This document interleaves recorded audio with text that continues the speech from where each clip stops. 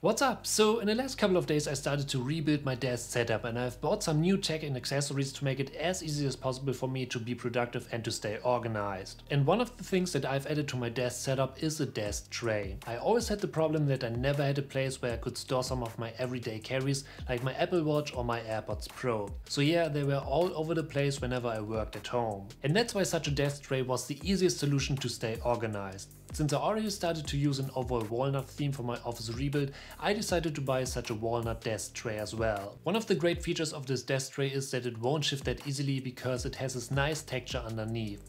And on top I really like the minimalistic design and it just matches my overall desk setup. So yeah, if you don't have such a desk tray for your setup, definitely give it a try. It's super great to stay organized all the time. If we now move on to the next accessory, I definitely need to mention my headphone stand. I never actually had one, but especially if you want to stay organized, a headphone stand is also highly recommended. I mean having a specific place to store headphones can help to reduce clutter and it improves the overall organization of your workspace. On top a headphone stand keeps them within reach and it helps to protect your headphones from damage. It also fits perfectly into my whole theme for my desk and it adds some more depth to it without being too present. So yeah, basically a headphone stand can provide a convenient and attractive way to store and protect headphones while improving the overall organization of your space.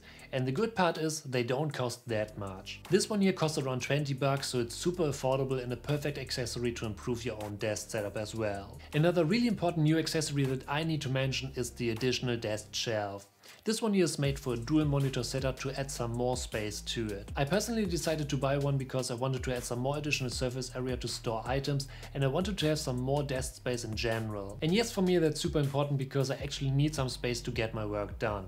I also mounted my second monitor to the wall to create even more space and to declutter the whole setup. So yeah, a desk shelf like this one here is for me one of the best products to improve your work from home desk and to always stay organized. Another accessory that I always like to mention is this one here. This one is one of those huge desk pads. Basically such a desk pad makes my whole workflow way easier and faster and that's the most fundamental thing here when it comes to build a great setup, to improve my own productivity. I also decided to buy a black one because it blends perfectly in and it's a perfect combo for my walnut color theme. On top these desk pads are fairly cheap so you can get one for around 15 to 30 bucks and that's a great price for such a product. But now let's move on and another tech accessory that I don't want to miss anymore is such a charging pad here for my iPhone and AirPods. Because yeah, I always need to use my phone for a variety of things and that's why it's really important that I can always charge and grab it whenever I need it. So especially if you don't like to have a lot of cables on your desk, such a charging pad is one of the best and cheapest accessories that you can buy.